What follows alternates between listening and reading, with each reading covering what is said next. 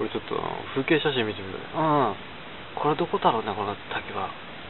これはおそらく宮崎だな。宮崎？本当かよ。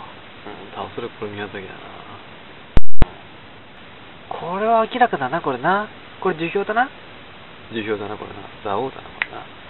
そうだなこれな。樹氷だなこれな。うん。でこれは？これは？これはなくるみ様だよくるみ様森下くるみ様はあそっかこれくるみちゃんか。19歳の時だなこれな。おそらくな。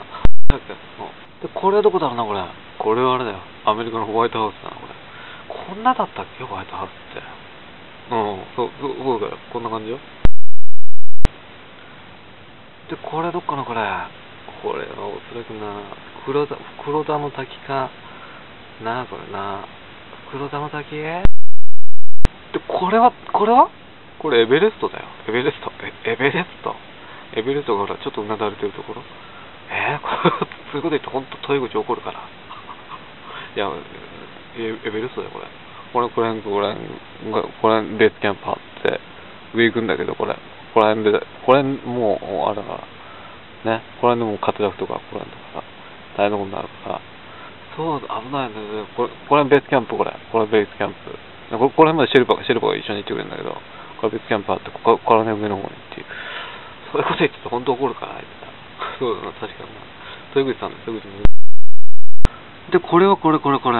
これはお前世界で一番手が細長い人だよお前。ほんとすっげえ細長いこれ手が。だろ？この間ギネスに申請あの申請してねあの認められたんだよ。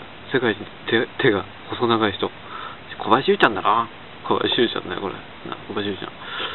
でも手長いな小林優ちゃんな。長いだろこれほんとほらほら。すっごいな。すごいだろ。でこれがだ誰だっけ？だだからエレベエベレエベレストだ。エベレスト。エベレストのはずねえだろうがよ。